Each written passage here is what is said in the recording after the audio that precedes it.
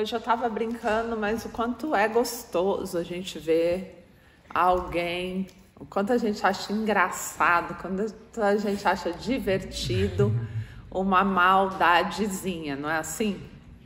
Então, quando a gente expõe alguém, faz uma piada, tira sarro de alguém, a gente olha e, e, acha aquilo muito divertido. Então, a gente dá risada, mas é uma risada meio sarcástica, não é? Mas é um prazer diferente dos demais prazeres, não é?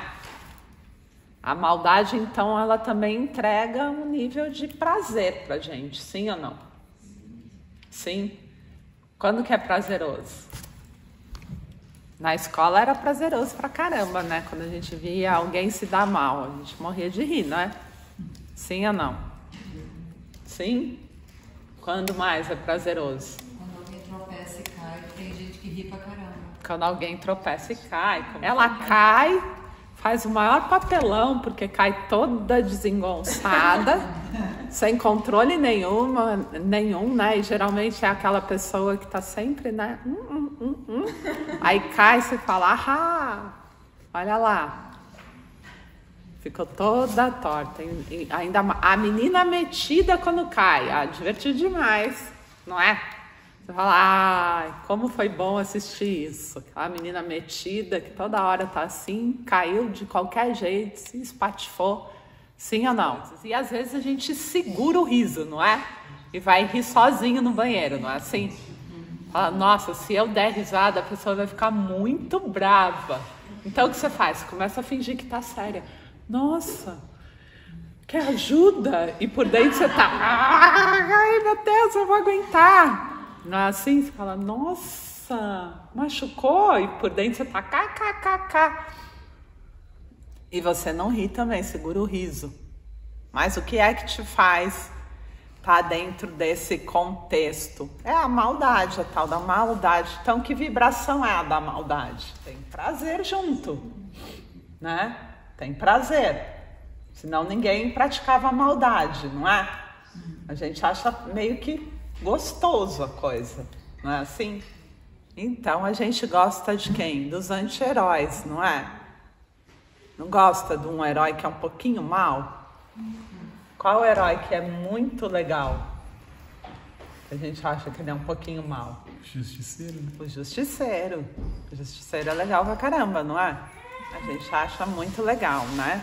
E por que, que a gente gosta de ver esses anti-heróis, gente? Porque eles fazem coisas que a gente gostaria de fazer também, né?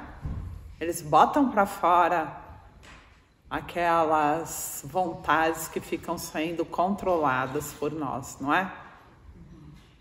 Então, alguns têm umas atitudes assim que falam: nossa, que legal que é esse cara, muito legal, adoro ele. Por que será que a gente adora ele? Os ladrões da casa de papel. Alguém gostava dos ladrões da casa de papel? Quem? Eu. Então. Pois bem. Hancock. Hancock. Então tem toda essa parte da gente se identificar um pouco, né? Com, com esse lado meio macabro, né? Mas só um pouquinho. Se for uma dose bem pequenininha, é legal. Mas se for uma dose maior, daí já não é mais legal, não é? Mas em doses homeopáticas faz bem.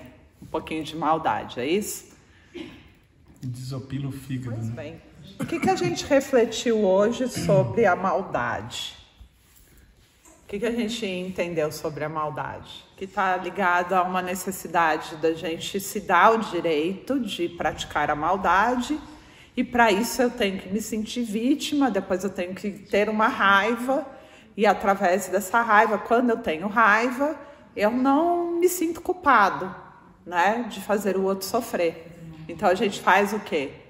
A gente provoca, a gente aponta o erro, a gente se torna vingativo, a gente evita amar, a gente dá frieza, a gente castiga. A gente fala que tem que falar um monte de coisa para a pessoa refletir, aprender, né? Porque alguém tem que ensinar essa pessoa, não é assim? Só que a gente não consegue fazer isso se for aquele dia que a gente tá bonzinho, consegue? Dia que tá bonzinho, o que, que a gente fala? Ah, deixa pra lá, né? Não vale a pena.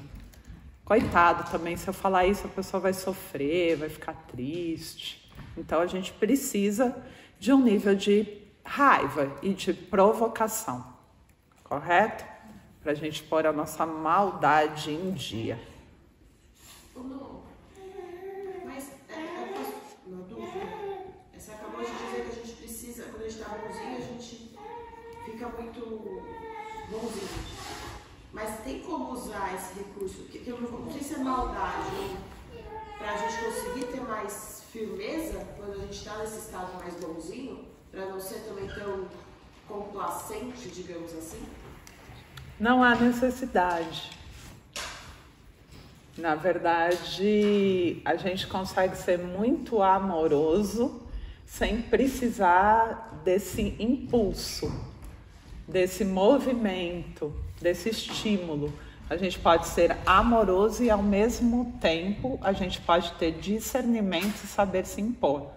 O que acaba acontecendo é que as pessoas têm medo, não têm coragem, querem evitar o conflito, então elas têm que usar algum recurso.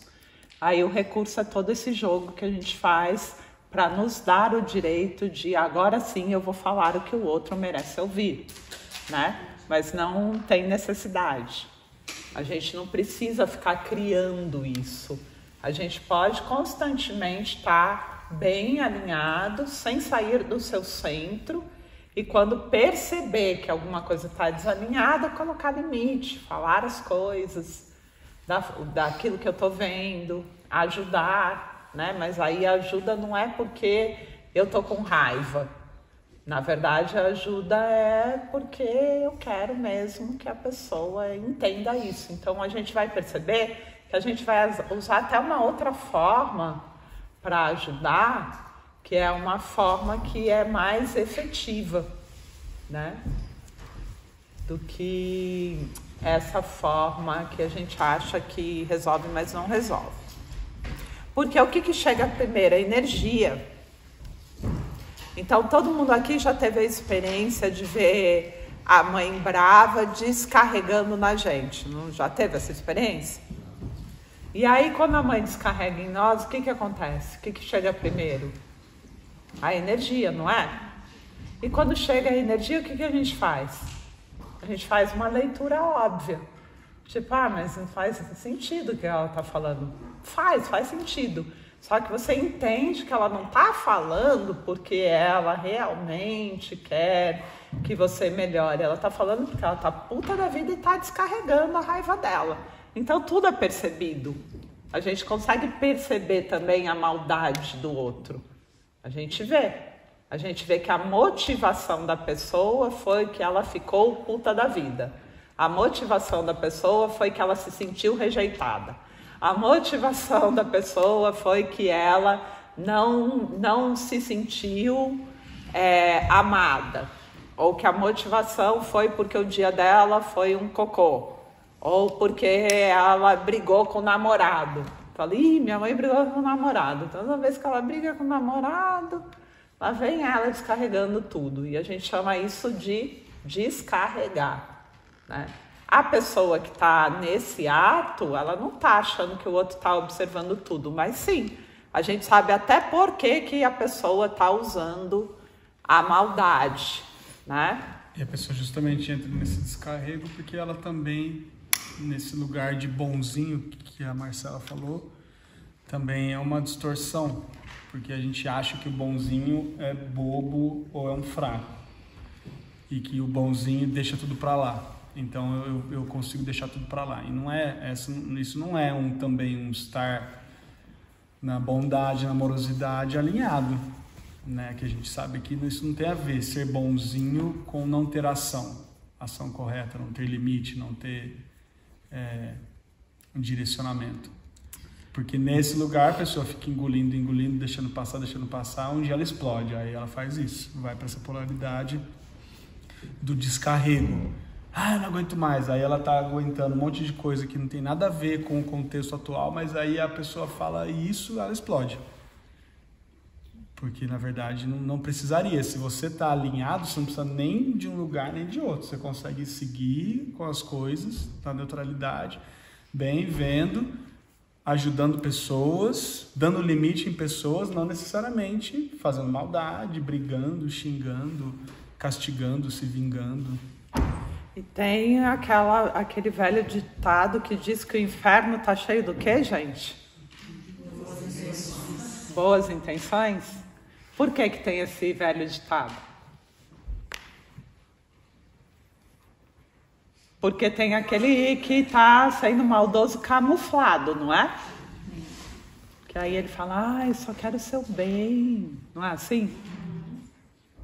Então a gente também consegue saber que na verdade a pessoa está camuflando algo, né? A gente consegue perceber uma maldade camuflada e a gente fica como puto da vida.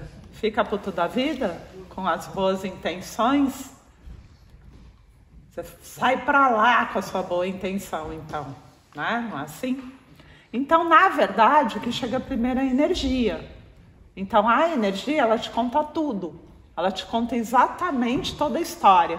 Você precisa de bem pouco tempo para entender o que está acontecendo quando você consegue fazer uma leitura energética, quando você está alinhado.